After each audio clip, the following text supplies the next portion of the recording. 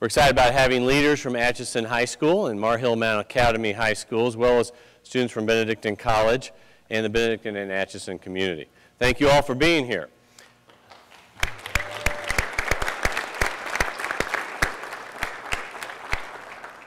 Today we have four very special guests on the Benedictine College campus. We're honored to have with us Bud Cray, former CEO and chair of MGP Ingredients, Inc., located here in Atchison, Kansas.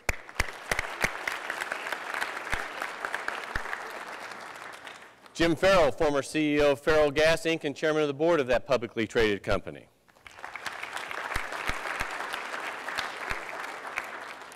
Michael Haverty, former CEO and current executive chairman of Kansas City Southern Railroad.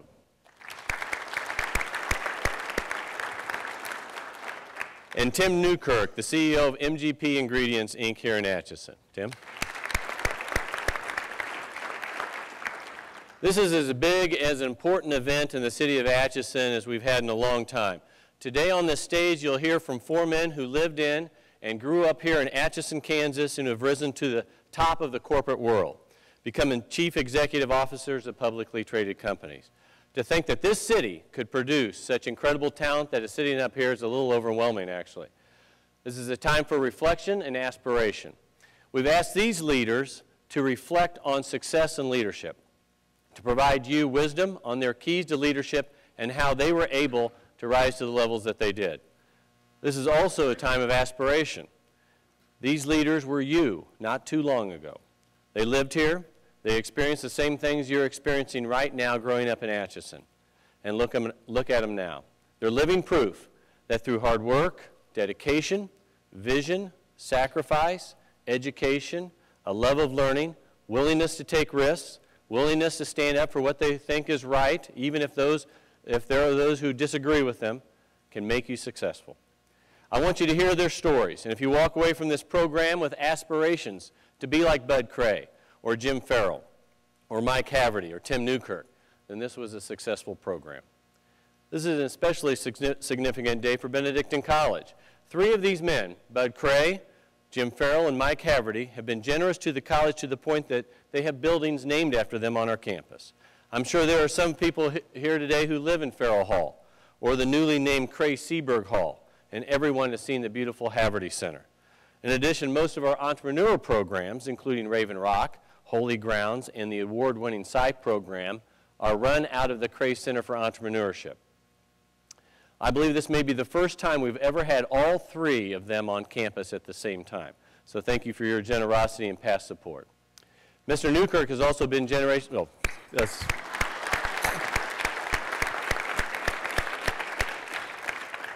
Mr. Newkirk has also been generous to the college in setting up internships for our students down at MGP and scholarship support for our students too. And so we thank you, Tim, for your leadership in that as well.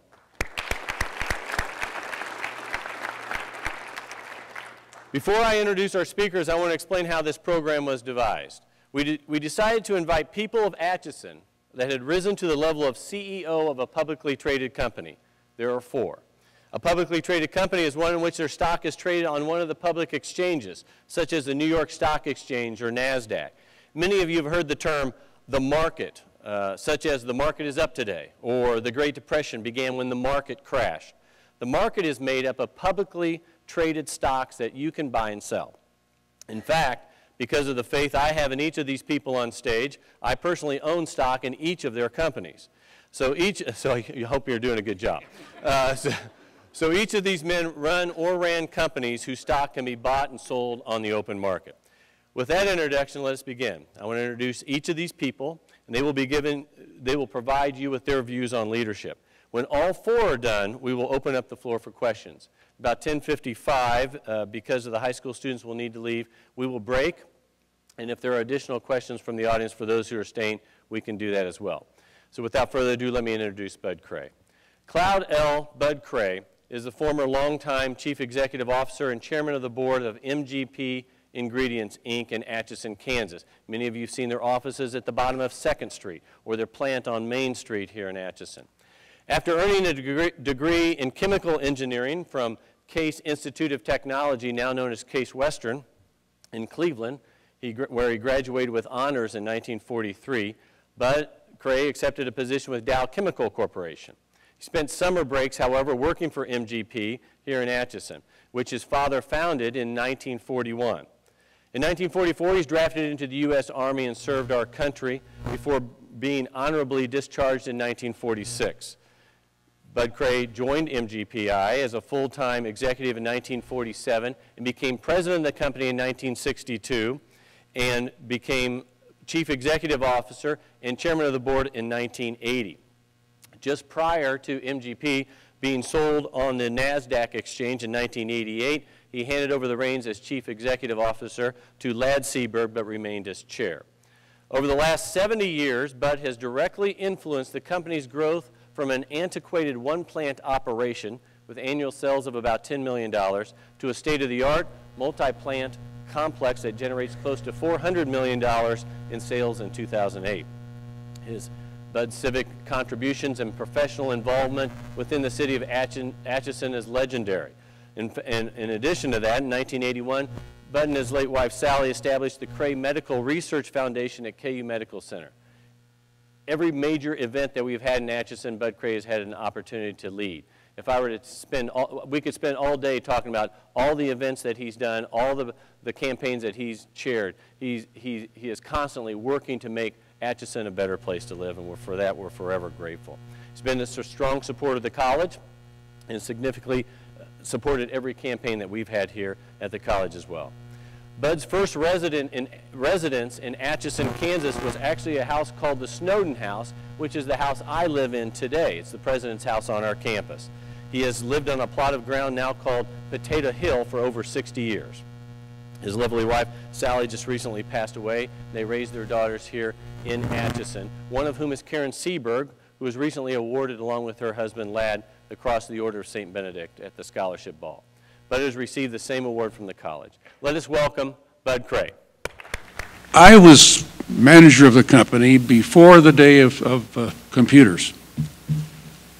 Therefore, the only way I could find out what was going around on, on in the company was to go through the company each and every day.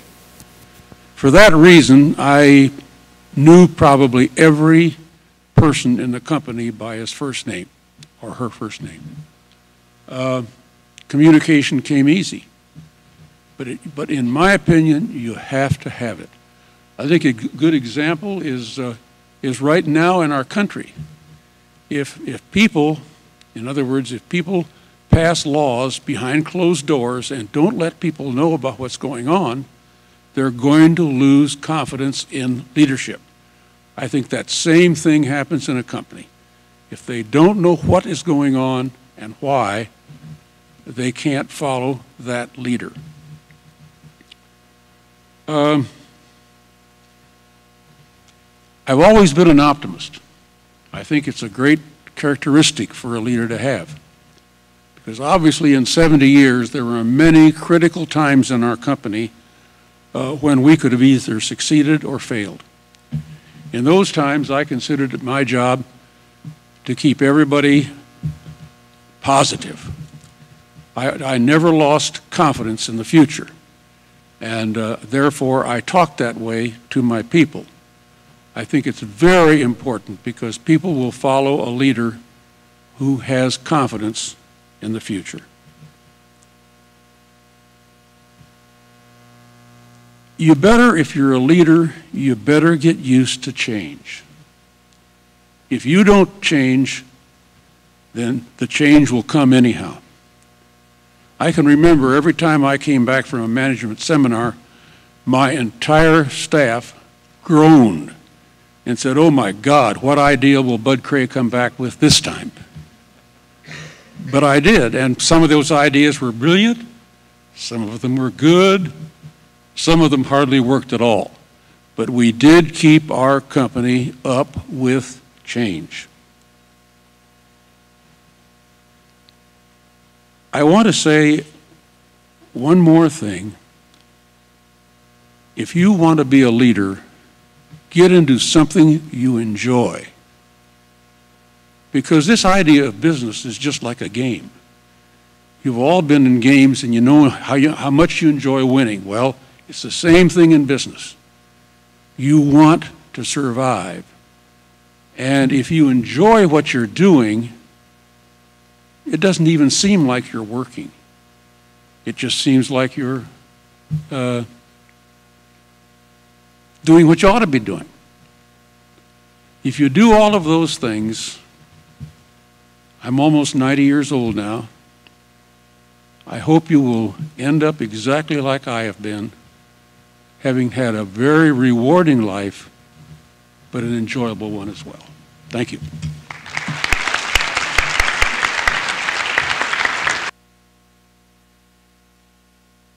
Cray. Thank you, Mr. Cray. That's fantastic. Next, I want to introduce Mr. Ferrell. Jim Ferrell is the executive chairman of Ferrellgas Partners, a master limited partnership that trades on the New York Stock Exchange. Ferrellgas is primarily engaged in the retail distribution of propane gas and related equipment and supplies throughout the United States and Puerto Rico. And through its Blue Rhino business, Ferrellgas also is the nation's largest provider of propane by portable tank exchange. Many of you may have seen the Blue Rhino tanks that you use for gas grills, right? Have you seen this? It's Mr. Ferrell's company. And also, you see the little truck in front there. You may have seen that truck delivering propane to in rural areas. So when you see this, you'll know who's in charge, okay, Mr. Ferrell. And so we're honored to have him with us today. Mr. Ferrell entered the tiny family propane business in 1965. Through his strategy of planned growth through acquisition, Ferrellgas has grown over the years be, to be one of the nation's largest retail marketers of propane with sales of over $2 billion. The company is headquartered in Overland Park, Kansas. Mr. Ferrell has also had other business interests and managed his, uh, man, by managing his unrelated Ferrell Capital office, which is based in Leawood, including a community bank and dental management company. He also owned an international trading business based in London until about two years ago. Jim and his wife, Elizabeth, or Zibby, have two married daughters and six grandchildren. The Ferrells have been extremely supportive of Benedictine College and spearheaded the campaign to renovate Ferrell Hall, one of the nicest and most most unique residence halls in the country. Jim grew up in a small house on 617 South 6th Street, two houses north on the west side from R Street. He graduated from Atchison High School and the University of Kansas. The college uh, has honored Mr. Ferrell and his wife Zibby with the Cross the Order of St. Benedict and honorary degrees. Let us welcome Jim Ferrell.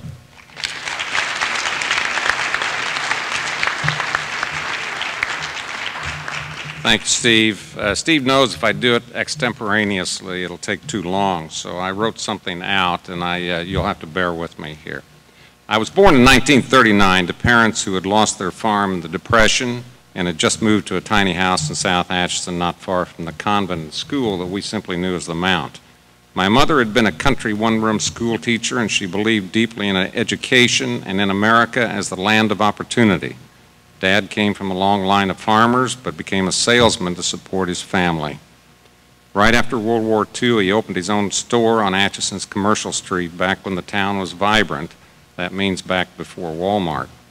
I, I was a uh, model student, a model student until my mother died when I was 12. From then on, I was more or less on my own because Dad worked most of the time and my grades went south. I did get a high school diploma, but that's about it. There was no money for me to go on to college, and I got a job. That winter, it finally dawned on me if I wanted to make something out of myself, I had to get a college degree. And so I worked my way through KU. I had two full-time jobs back to back in the summertime and one in the winter. That's where all the money came from, and in about four and a half years I graduated. I also signed up for Army ROTC because I didn't want to be drafted and because I really wanted to serve. Patriotism was alive and well then. In 1963, I graduated with a degree in business, was commissioned a second lieutenant in the infantry, and sent to Fort Benning, Georgia for schooling. Until then, I had just been working hand to mouth with no life plan and no idea what leadership was. I had chosen the infantry for my branch assignment because all my life I have chosen action. It matches up with me very well. The infantry slogan is simply, follow me. And the basic officers course is the best leadership school in the world, but only if you soak it up. I put all my effort into that school, and I ended up graduating second in the class academically with a special award for being the most proficient student. That pen set, the first thing I'd ever won in my life, still sits on my desk. Then I got lucky again. I was assigned to a crack infantry uh, battalion as a platoon leader. My CO was perfect for me. He taught me and developed me and protected me when I got into trouble, which unfortunately happens when you take chances. A year later, when I rotated out, there were hard-earned decorations on my chest. In other words, I had tasted, I had tasted success. My confidence could not have been higher. But back home here on leave, my father unexpectedly asked me to come back and help him. His business was failing and he was tired. Six months later, more out of loyalty to my father than anything else, I left the Army. My wife and I took a small apartment here in Atchison. I was just a young 26-year-old who, because of recent success in the Army, thought he could do about anything. But after I dug into what I'd bitten off this time, I, I figured out how daunting this task was going to be. Ferrellgas was then doing business from a 15-foot by 15-foot shack on the other side of the river in East Atchison. The, uh, the, the, the store was long gone. Sales were $200,000 a year and had not made money for years. Debt was more than the business could be sold for. My sister likes to say most people start with nothing. My brother started in the hole. I did everything, sold, installed, delivered gas. I can remember delivering gas to Bud Cray here, still a customer, and, and collected. Didn't have to collect from Bud. Bud paid his bill. I knew how to grow. I knew I had to grow this business or give up, and I wasn't about to give up, so I worked harder than I'd ever worked in my life. The clock was ticking for the business and for me. I inherently just knew that. And slowly profitability returned. Three years later, after I had come, three years after I'd come back, I made my first acquisition, a tiny nearby competitor. It cost all of $25,000. 100% borrowed from a bank in St. Joe who was just happy to get rid of the last guy that owned the little business. Now, roll forward from that 26 years, from that small step to 1994. By then, I had made over 200 acquisitions, borrowing millions. Ferrellgas was nationwide. It had over 4,000 employees, 1,600 locations, and over a billion dollars in sales. That year, I took it public on the New York Stock Exchange. Today, 46 years after I took the reins of Ferrellgas, I'm executive chairman. It's a lot better than being CEO because I don't have to worry about things at night anymore. And uh, the business is run by a very talented, homegrown young man. We are in every continental state and still growing. Sales exceed $2 billion now. It has, been, it has the most modern operating system in the industry, designed primarily like me. Makes the business look more like a FedEx business than anything. Blue Rhino, you just heard about Blue Rhino, and Blue Rhino's around in, in many places, well, better well known than, than Ferrellgas. Sells almost 20 million of those little bottles every year through 50,000, over 50,000 selling locations. So looking back from this vantage point, at my age, advanced age, I should say, uh, what have I done with my life? First of all, I got an education. Secondly, I became a leader. I served my country for a short time. I built my father's business basically from zero to now, and up until two or three years ago, I operated a large international trading business in London. We took large cargoes of propane and butane from producing countries like Saudi Arabia to importing countries like Japan. I have been and still am, and other businesses will be always be, be remembered as the guy in the propane business. In fact, the only one who ever went from mom and pop to large company CEO. But what I am most proud of is that I developed many people along the way. I've certainly given a great many a good place to work. And I started like you may start with any number of handicaps. I had absolutely no money. In fact, I owed money on my car, which was my only tangible asset. I came from a small town in the middle of the country Trust me, New York City looks down on us as quaint provincials out here. And in truth, there are a lot smarter people than me in the world. I wasn't a West Point graduate, but I did well in the Army. I don't have to tell you that propane is far from being the sexiest business in the world. And I only speak Middle American English, yet I have done business all over the world. I grew up thinking that other people, even those who lived just across the river in Missouri, were somehow different from me and even a little scary. Even old people in suits were different, definitely different from me. Now I have friends and associates all over the world, and I am an old guy in a suit. I didn't realize it when I was your age, but I also had some things going for me that uh, you will realize later. Great parents and a value added, a value based upbringing. And I also worked harder than anyone else. I also never stopped learning. And while I have been scared plenty of times, I seem to like action and adventure. So, how about you? Let's talk about you for a minute. The topic of the day is leadership. I already told you that the first thing I did after getting an education was to become a leader. So, what do I think that is? There are so many ways to look at leadership that a book gets written almost every day on the subject. In fact, it's all pretty simple. First of all, you're a leader if people are following you. If you check back there and no one is there, you aren't a leader. Either you persuade others to follow or you don't. A leader, if nothing else, is persuasive. But to me, you also need to live like the leader you want to be. Not all leaders are my kind. Hitler, Stalin, Gaddafi quickly come to everyone's mind. But there are plenty of other wrong headed leaders right here in America in all walks of life. For what I like are value driven leaders with common sense and who care about people. I also want leaders who develop people, teaching, not just telling. The classic leader is a Patton style dictator who just tells people what to do. You're going to meet many of those uh, throughout your life. But the very best leader is the teacher and the team builder. You won't like this one, but you have to look like a leader. Dress the way you want to be seen, who you want to be. You see me up here today in a dark suit, white shirt, and a tie. Groom as you want to be seen.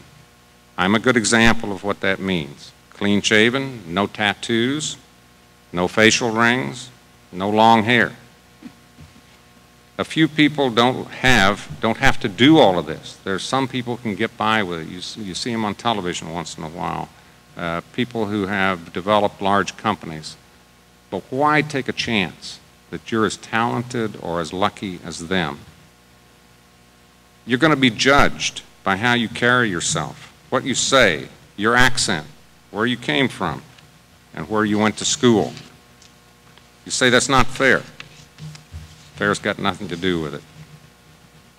People who succeed look and act like they belong.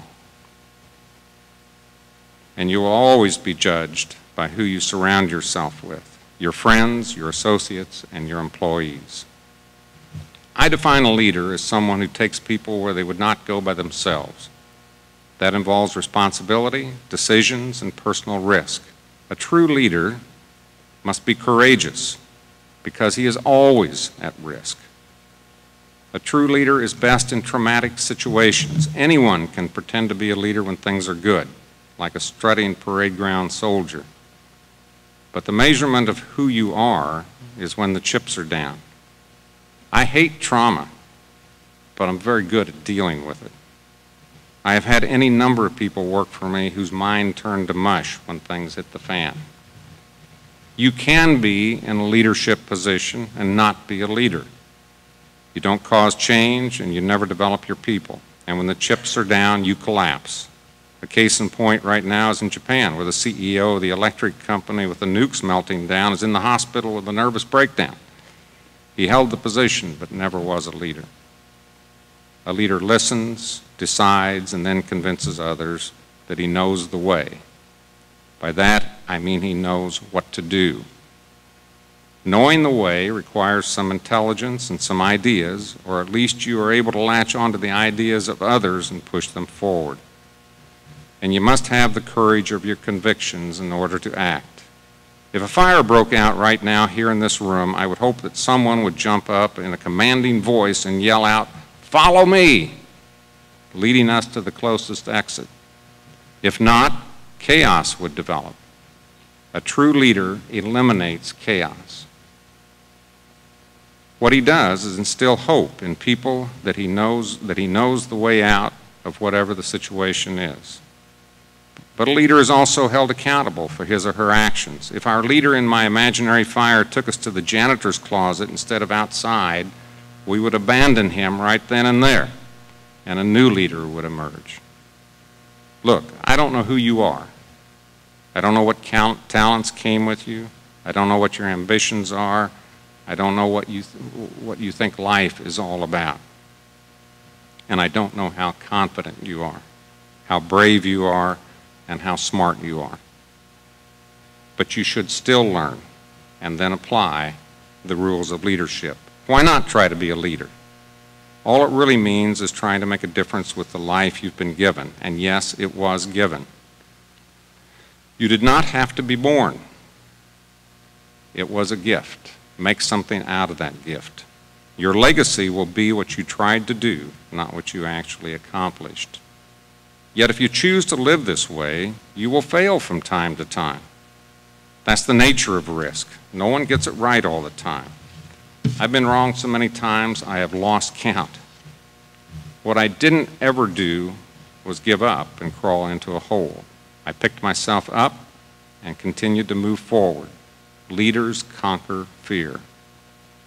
Your perceived and or real handicaps will not stop you.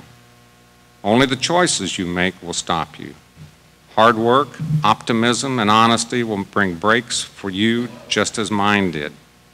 Look for the doors of opportunity and open them, not to the illogic of, I can't because. The only two things you cannot choose for yourself are to whom you were born and where you were born. Otherwise, it's all in your hands.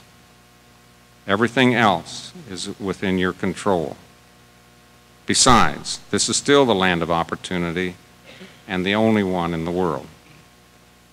If you think about it, you've already hit the jackpot by being born here. Western civilization, not just America, depends on leaders. Leaders from young people just like you who grow up with middle American values. Values I believe, believe to be the remnants of what really built the world we live in. The elite may think otherwise, but they're wrong. Someday, after I am long gone, I expect you to be up here giving this same talk. I say go for it. The world is counting on you. Thank you.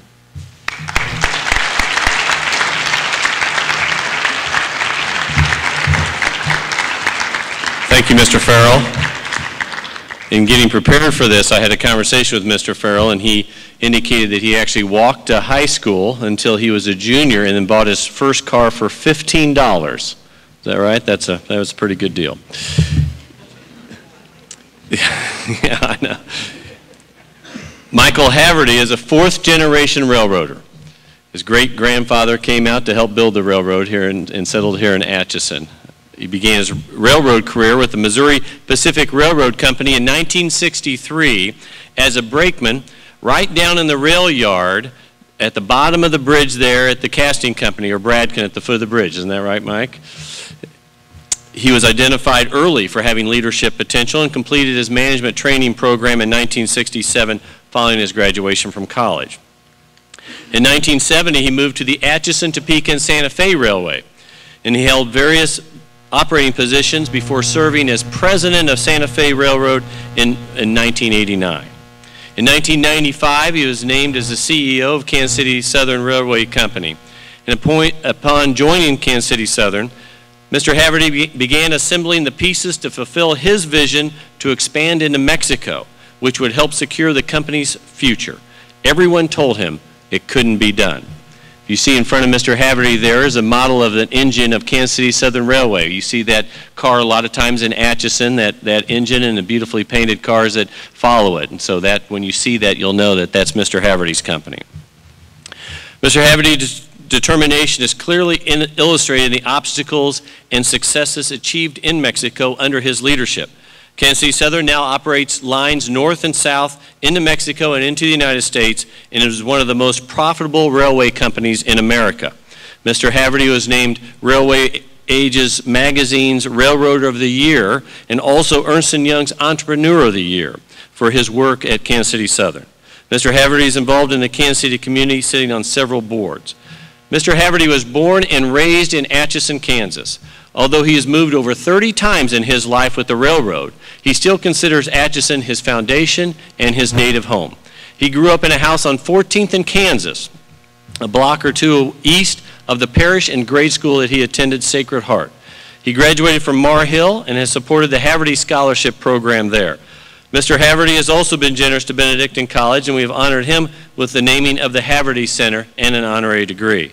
He's a very good football player at Maur Hill and came to Benedictine to play football, but transferred after his freshman year when we dropped the sport. He graduated from the University of Louisiana Lafayette, received a master's degree in business administration from the University of Chicago. He's married, has three children, six grandchildren, resides in Mission Hills, Kansas with his wife Marlis. Let us welcome Mike Haverty.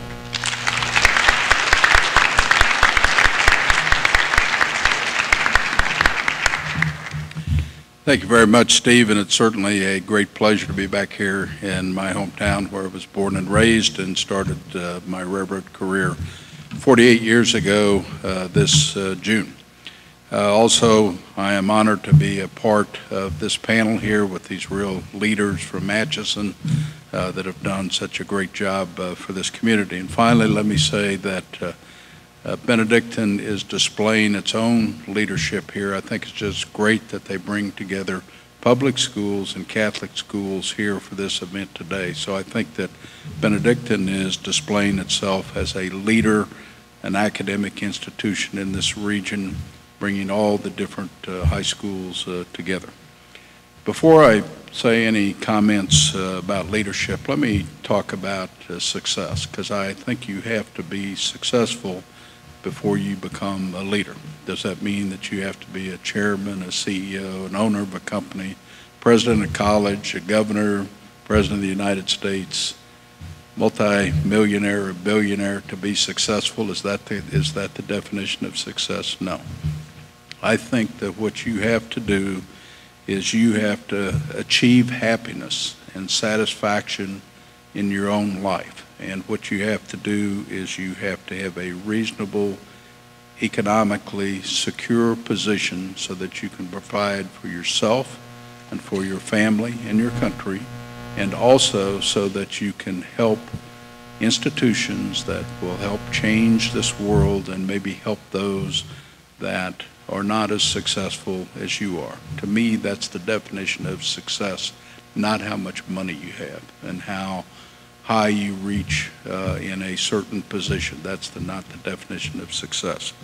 So what are the keys to success? Number one, uh, and Bud Cray talked about this, you got to enjoy what you do. You cannot go to work every day and be miserable. You have to love what you do. I started in the railroad business 48 years ago, brakeman, switchman. This afternoon I'm going to fly to Meridian, Mississippi and get on a train and with another group from another railroad and go from Meridian to Shreveport, Louisiana. This is what I love. I get up every day and I love what I do. That's what you need to do to be successful. You need to find what it is that you enjoy. Also, you have to work hard. Jim Ferrell talked about that. If you think that you can go and just kind of be leisurely and everything's going to work out and so on, that's not the way it is. There's a tremendous amount of competition in the world today. And those that strive and work hard, those are the ones that are successful. Also, you have to set goals and you have to stay focused and you have to say, stay persistent. Uh, Steve knows how I feel about determination. In fact, I'd say those are the three keys to success, determination, determination, determination. You have to decide what it is you want to do, and then you need to stay focused. I am a believer that anybody can do anything that they want if they set their mind to it, and you can do anything you want if you really are focused and that's what you want to do. It's been alluded to up here, you have to be honest, you have to do the right thing. Because if you're not honest and if you don't do the right thing, in my opinion, what you have done is basically sold your soul. People will understand that you will compromise, that you will give in. And it doesn't necessarily have to be illegal, but you're going to be tempted many times to not do the right thing. I suggest to you that you have to do the right thing. One other thing I would say to you is you never get too high, you never get too low. So when things are going good, don't be up there high-fiving everybody and this is all great and so on because life is a series of ups and downs and you're going to find that sometimes things are good and sometimes they're bad. So when they're good, don't get too high. When they're bad, don't get too low. And finally, to be successful, you need some luck, some good breaks, or some good fortune. But I will tell you that I've found that good luck comes very uh, many times uh, with hard work. The harder you work, the better luck you have. Having said that, I will say that I have found over my career there are some things that I have not been able to explain that have happened. I would say it goes beyond good luck or good fortune. In fact, I refer to it as divine intervention. There are times that I wondered if our company sometimes was going to survive. I went to bed at night and wondered if I got up the next day if it would still be there. But something somewhere, a higher being, seemed to step in and make things work out. So you need some of that, and I'll tell you, I still strongly believe in God, and I think that that's why some of those things have, have happened, why I've had some good fortune. Now, let me talk about uh, leadership. The question always comes up, are you a born leader or are leaders made?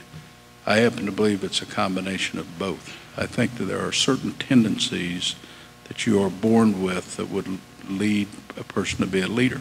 However, I've seen a lot of people in my lifetime that had potential to be leaders that failed. They ended up, they got on drugs, alcohol, and they ruined their lives and so on. And or maybe they became a leader of a drug gang or some kind of a criminal organization or whatever. That's not the definition of being a leader. A leader is someone that is doing the right thing and over time develops and becomes more and more of a leader and is more and more respected as they go on. I will also say to you that you must lead by example. You cannot tell people to go out and do something that you would not do yourself. I have found that out that that is absolutely critical. I don't care what kind of title you have.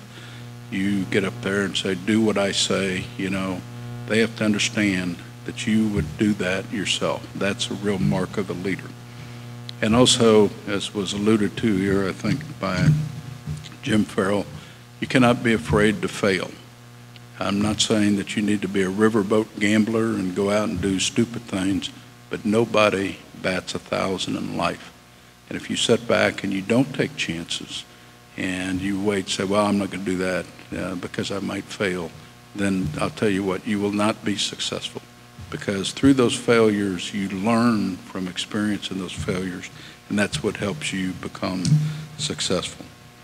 Uh, one other thing I would say to you that respect is more important as a leader than winning a popularity contest. If you think you can go out and be friends with everybody and everybody's going to get along and you're going to hold hands and all that stuff, that's not what a leader does.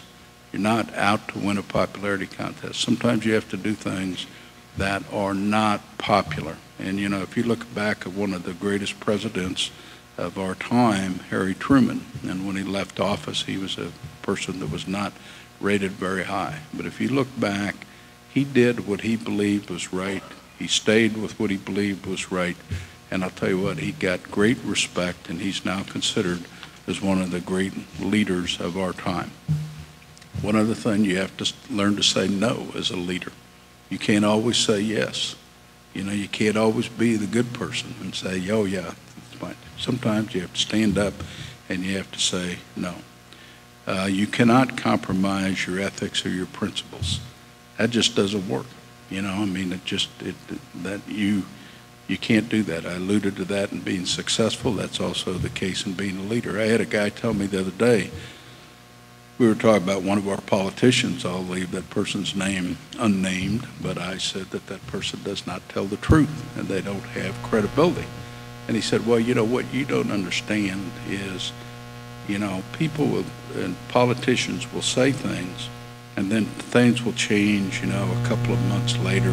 So it's, they have to say something different. I said, wait a minute. I'm from Kansas. You know what? When I say something, that's the way it is. I'm not going to tell you something and then two months later tell you something different. You know, you've got to stay by your word, and what you say has got to be uh, the way it is. Um, also, it's important that you listen to others. Nobody is a dictator. Nobody's God. You don't have all the answers. Not one person runs anything. It is a group of people and you have to listen to what others say. You have to listen to their input. In the final analysis, you may have to make the decision. And you've listened to all kinds of people and say, okay, this is the way we're going to do it. That's the mark of a leader, but a leader also listens uh, to uh, people.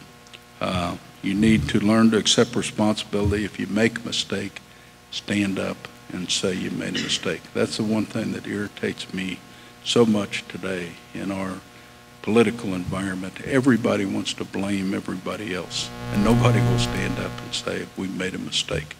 And if you're going to be a leader, you have to be able to admit that you were wrong. Uh, finally, uh, what you need to do is you need to spread the credit and acknowledge those that contributed. It's not always, I did this and I did that and so on. As I say, it takes a lot of people to make things happen. And if you're going to be a real leader, you have to acknowledge those people. And if you acknowledge those people, they will become very loyal and they will do things and they will help you achieve what you want to be. And to me, that's a very important thing in being a leader. Okay, with that, I thank you and uh, I look forward to uh, any questions we may have uh, later on. Thank you very much. Thank you, Mr. Haverty. There's a common theme here. Hard work is important. My middle son last summer, teenager, asked me, tell me, uh, Dad, what's the one secret to success? The one secret. And I said, hard work. And he said, you got anything else? And I said, no, that's it.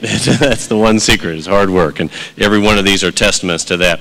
Mr. Haverty one time sent me this quote from Calvin Coolidge and sums up his life. Nothing in the world can take the place of persistence. Talent will not. Nothing is more common than unsuccessful people with talent. Genius will not. Unrewarded genius is almost a proverb. Education will not. The world is full of educated derelicts. Persistence and determination alone are all powerful. And that uh, sums up Mr. Haverty. I want to introduce Timothy Newkirk.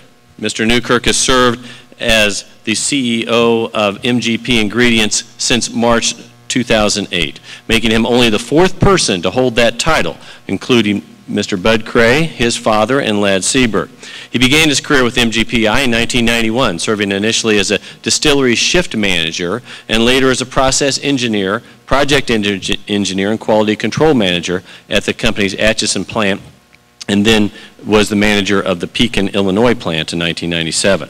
In the spring of 2000, he accepted a, a position with another company, High Plains Corporation, and moved up uh, the ladder in that company as well until being called back to Atchison to uh, head up MGPI in 2005. Mr. Newkirk began, uh, began serving as the president of the Board of Education here in Atchison as well and is on the board of the Atchison Community Education Foundation and a member of the board of directors of Union State Bank. Mr. Newkirk spent most of his youth in Atchison and graduated from Atchison High School in 1986, and I believe was a member of one or two state basketball champions. So his in Atchison High Gymnasium, you'll see his name on the banner up there, Tim Newkirk. So look for that. And he was also a track star as well, as I recall. Uh, he received a degree in engineering management for the University of Missouri Rolla in 1991, or Missouri S&T, I think is what it's called, and earned a master's degree in business administration at the Olin School of Business at Washington University. One interesting fact is that Tim and his family moved to Atchison before high school because his father was the general manager of the food service for Benedictine College. For, uh, so Ned Price's sons have something to look forward to. Uh, thank you for being here, Tim, and let's welcome Tim Newkirk.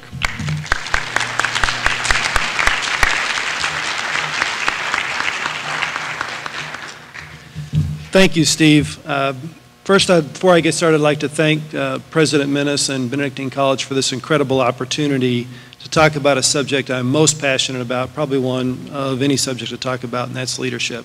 I guess before I get started, to kind of round out the whole house thing, uh, we grew up on Fifth Street, a block north of, uh, of the uh, middle school, and today, actually, so the whole house thing comes full closure, because it's probably the only real reason I'm up here, is we live in the house that uh, Bud's father built um, when they when they moved to town formally in the early 50s. So we all kind of have the, the house thing going.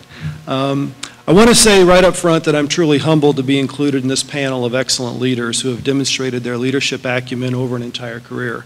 When President Minnis asked me if I would be a part of this panel, first I thought he was kidding. Um, then I told him I would love to be in the audience and take notes, uh, but wasn't sure I had earned the right to speak about leadership, especially considering the incredible careers the gentlemen that have already spoken have had. Nonetheless, you're stuck with listening to me, um, and I will share some of my thoughts on what I believe in today's business world to be a more precious commodity than capital, innovation, or growth opportunities, and that's leadership.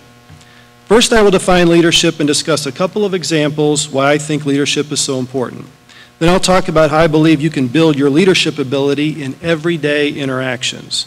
Finally, I'll close with an example from my high school days that was pivotal in galvanizing my understanding about the importance of leadership. So let's start off with a simple definition. So where do you go? Well, you guys Google. I go to Webster's Dictionary, and Webster's defines leadership as the ability to guide, direct, or influence people. And I think that's a common theme you've heard from everyone. Leadership is about people. In my very limited experience, I would suggest that leadership is the key ingredient in any successful endeavor. We have all seen athletic teams with incredible individual talent fail to reach their potential. Conversely, we've seen teams with good but not incredible talent achieve more than anyone thought possible. All you have to do is watch March Madness in today's day and age and you see it. Think about Butler, think about VCU. You may argue luck can also play a part in this unexpected over or underachievement, but I believe the more important differentiator is really leadership. So imagine the world 234 years ago.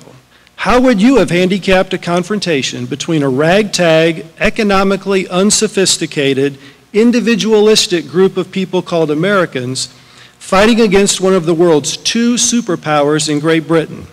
The Americans were outmanned, outgunned, economically inferior, and completely unorganized. The British, as you remember, were battle tested, an economic superpower, well organized, and well versed in managing their far flung empire.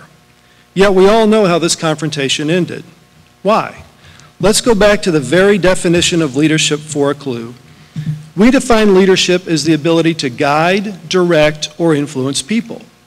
America's early leaders, men like Franklin, Jefferson, Adams, Washington, Paine, Hancock, and many others, demonstrated a much higher level of leadership than the leaders of the British Empire. These early leaders were not only able to fashion an army out of farmers, artisans, and shopkeepers, but also were able to bring the spirit of the American people together by guiding, directing, and influencing each American into believing the American idea of government of the people, by the people, for the people was not only a great idea, but was worth fighting for. So, this is why leadership is and should be important to you. It is only through effective leadership that we are able to accomplish great things. After talking about such great American leaders as Jefferson, Washington, Hancock, and others, it can give one the idea that leadership is a noble gift from God bestowed upon some inexplicably chosen few. Well, I believe that is true for this elite group of leaders like Washington, Lincoln, and Churchill. As Mr. Haverty said, I believe the kind of leadership business and really the world needs today is more of a universal leadership that each one of us can acquire through a thoughtful honing of those three skills guiding, directing, and influencing people. I can tell you leadership is the key ability we are recruiting at MGPI. And as I have discussed with many other presidents and CEOs, it is the one ability we all wish we had more of. So why should you care? Because if you develop this ability to lead, you will have a competitive advantage in the marketplace over those that don't. So how does one hone this ability to guide, direct, and influence people? I believe leadership is a developed skill based on one's desire to understand people, what motivates them to action. You need to understand cause and effect. You need to understand the value of listening to other perspectives and encouraging diversity of thought and experiences and, and you've heard this from everyone, having the strength of your convictions to take a stand or make a decision supported by the evidence that you believe provides the best opportunity for the optimal outcome. Excuse me. To be fair, that last idea is full of great big concepts, but that is the ironic part of developing this ability that we call leadership. It is a lot of big concepts. But in the end, it is simply about being willing to do something that will inspire people to act in a way that is different than the status quo. So let's put this into practice. Think about a class discussion or a practice for an extracurricular activity or an interaction with a classmate. In each of these instances, you have the choice to go with the flow or lead the discussion, activity, or interaction in the way that you would like to see it go. Too many people today wait around to see what direction the majority want to go and then mindlessly follow. But that is the opposite of leadership. The example that galvanized leadership for me came from my participation on the Atchison High School basketball team. My junior year, we won the 4A state basketball championship. As we started the defense of our championship my senior year, I had a particularly good season opening tournament. However, once we got into the regular season, I was not getting as much playing time as I thought I deserved. I made an appointment to talk to my coach, Chick Downing, and what he told me really helped me understand how leadership works. He told me that in order for our team to have the best chance to repeat as state champions, he didn't need me to score points in the game or for me to even get significant minutes. Now, you can imagine I was less than excited to hear that message. Nobody likes sitting on the bench. But he went on to say that I had a very important role and that if I would accept my role, we would have a great shot at being back to back state champions. Chick said my role was to lead, lead in the classroom by guiding and influencing my classmates to make the necessary grades, stay out of trouble, and demonstrate good citizenship. Lead in practice by winning every sprint, toughening up our center, and by giving 110% of practice every single day. The leadership lesson here is that leadership is not just scoring the most points or leading during the game time, but leadership is also necessary behind the scenes. Yes, we had great players and great court leadership, but I do believe without the off-court leadership, we may not have repeated as state champions.